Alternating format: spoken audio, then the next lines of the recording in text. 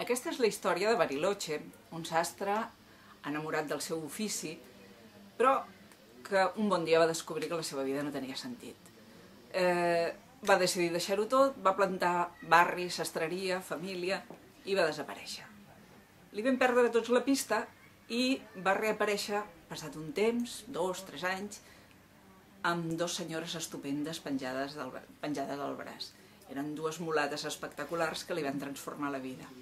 Des d'aleshores, la seva vida va començar a tenir sentit. Va començar a cosir com no ho havia fet mai i la seva fama va transcendir molt més enllà del barri. La gent volia anar-se a fer trejos a la seva sastreria de tanta fama que havia agafat.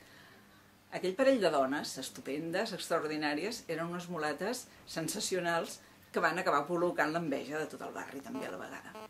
Però clar, la felicitat a vegades no és sempre completa.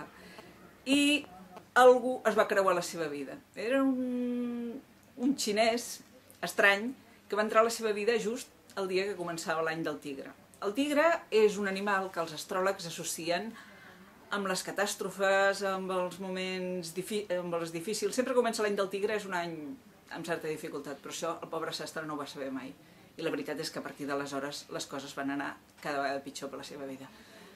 Però, sense saber-ho, hi havia algú que vetllava per ell.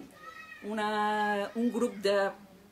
uns, uns iaios que corrien pel barri, que sense que ell ho sabés, van fer la seva, es van venjar del xinès i de tota la màfia xinesa que li havia marcat la vida al sastre. I a partir d'allà va tot, tot va canviar. Bé, no sé, us convido a, a llegir la història del meu sastre, del sastre Bariloche, i desitjar que us agradi i que rigueu força, com he rigut jo escrivint-lo.